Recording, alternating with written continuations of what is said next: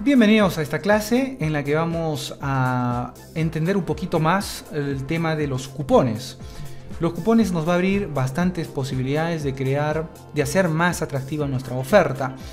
Y podemos, por ejemplo, eh, empezar una campaña en Facebook con un número de cupón o un código que pertenezca a un cupón. Y así vamos a poder identificar que quienes nos compren provenientes de una campaña en Facebook sean fácilmente identificables como por ejemplo los que provengan de una campaña en Google y vamos a poder diferenciar el mejor rendimiento porque vamos a poder crear eh, códigos para distintos cupones, ¿no? para el que viene de Facebook y para el que viene de Google y esto además de ser atractivo para los clientes al encontrar gracias a ese cupón un precio quizás más rebajado, va a poder ayudarnos a nosotros a saber cuál es la plataforma de anuncios más eficiente para nosotros. Así que para ello vamos a realizar una pequeña simulación de compra. Estamos desde una vista de usuario, así es que vamos a añadir al carrito a este producto que nos ha interesado. Aquí inmediatamente aparece la opción de ver carrito. Nosotros no tenemos un nombre de usuario. Así que vamos a hacer el camino que normalmente un usuario que llegue por primera vez a nuestra tienda vaya a realizar. Así que, bueno, ya ha seleccionado un producto y digamos que va a seleccionar este producto más. Hemos añadido dos. Si te das cuenta, aquí solo aparece leer más en lugar de añadir al carrito. ¿Por qué? Porque estos dos productos recordarás que lo hemos configurado para mostrarlo como un producto agotado. Así que cuando está agotado, pues no se nos va a habilitar el botón de añadir carrito, sino el de leer más. Simplemente leer la descripción del producto. Ahora vamos a ver nuestro carrito y vamos a encontrar los dos productos que hemos seleccionado. Le hemos indicado la cantidad, pero también podría el usuario arrepentirse de decir mejor llevo dos. Y aquí va a poder actualizar el carrito y se va a sumar el precio de, los dos, eh, de las dos eh, cantidades del producto. Y aquí abajo, como puedes observar, existe la opción de aplicar cupón. Aquí el usuario va a poder ingresar el código del cupón y aplicarlo y automáticamente se va a hacer un descuento.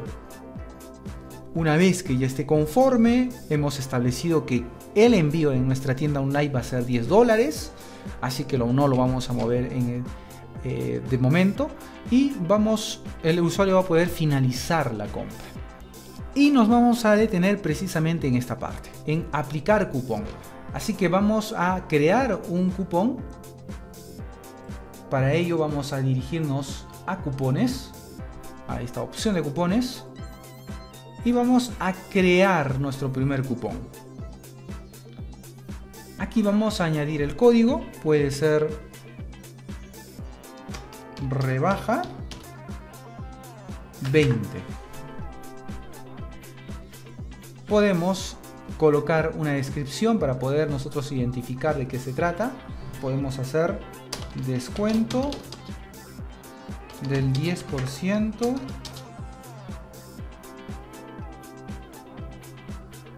adicional. y aquí y en esta parte podemos colocar un porcentaje. Aquí en tal caso vamos a variar vamos a colocar 10 porque ese es el 10% adicional.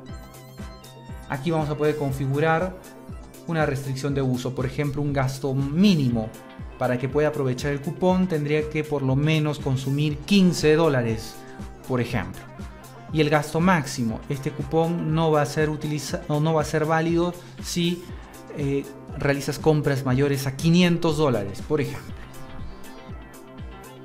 Y aquí vamos a colocar los productos al cual se va a aplicar este, este cupón. Vamos a colocar ropón para bebé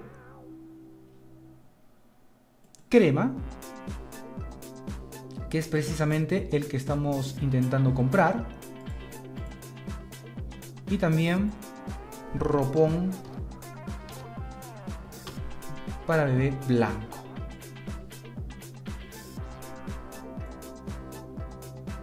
podemos excluir productos, podemos incluir la categoría, todos los productos de una sola categoría para que el cupón sea válido para esa categoría del producto. Asimismo, excluir categorías. Listo. Vamos a los límites de uso.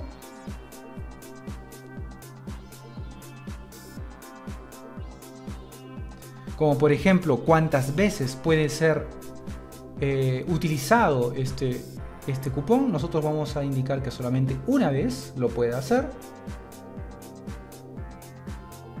Y que además lo puede hacer en dos productos. Listo, eso es todo. Podríamos también limitar el uso por usuario, pero no queremos eso, queremos que el usuario compre más. Sin embargo, esa opción podría también ser útil en otros casos. Vamos a publicar y vamos a crear nuestro primer cupón. Perfecto, vamos a la parte de cupones. Y ya tenemos nuestro primer cupón de rebaja 20, donde ya se está... Mm, mostrando aquí la lista de cupones. Obviamente podemos crear muchísimos más cupones aquí en añadir cupón y de la misma forma añadir y personalizar estos cupones. Ahora al momento de realizar la compra, el cliente va a poder colocar rebaja 20 y listo. Aquí se está aplicando, por ejemplo, el descuento del 10% que en total hacen 3.4 dólares, ¿no? 3.40 o con 3 dólares con 40 centavos.